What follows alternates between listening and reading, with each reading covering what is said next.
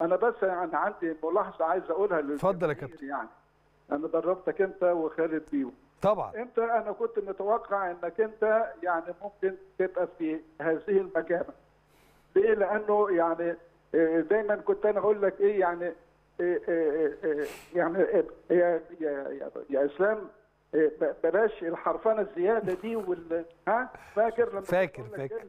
خلاص مش عايزين فضايح بقى يا لا دي حاجة حلوة بالنسبة لك ما أيوة. كنتش بتحب تشتت كنت تحب دايما آه. يعني في مشكلة أحل المشكلة آه، بدل ما أنا أترقص أنا هرقص ال- ال- ال- ال- ال- الجناح وألعب الباص يعني بحيث إنه الباص أيوة. يمشي بين وسط اثنين لعيبة كده ويوصل لزميلي يعني بشكل جميل وبالتالي الفلسفة دي كانت موجودة فيلسوف طول عمرك وبالتالي أنا كنت. متوقع إنك أنت ممكن تبقى راجل آه، مقدم برامج أو مذيع أو ما إلى ذلك. لكن خالد بيبو بصراحة ما توقعتش يكون مدير قطاع ناجح بالشكل ده. بصراحة كلنا مش أنت لوحدك. يعني كلنا بنقول نفس الكلمتين دول. يعني أنت تطلع مثلا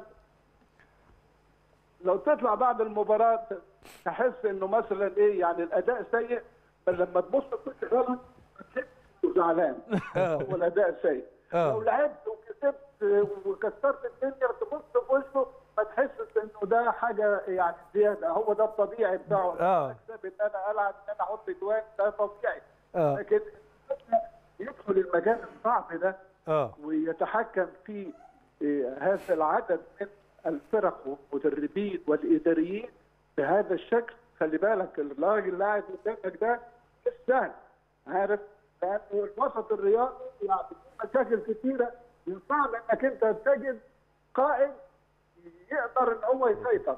نعم. لكن هو مسيطر بشكل قوي جدا وما بيسمحش لاي تدخلات وبيحل جميع المشاكل بدون تصادم مع أحد. وبالتالي كل الفرق اللي عنده وتحت قيادته تسير بشكل جدا. يعني تدخل النادي تبص تلاقي كل فرقة معاها الجهاز بتاعها موجودين في الميعاد المناسب لابسين اللبس المناسب بيشتغلوا بالشكل المناسب.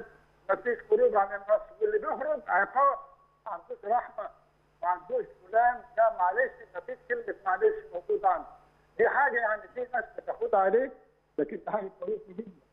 عشان السيطرة لازم يكون قوي تخيل قوي جدا في القطاع المسيطر على كل عناصر اللعبه لاعب مدرب اداري اخصائي حتى. تمام؟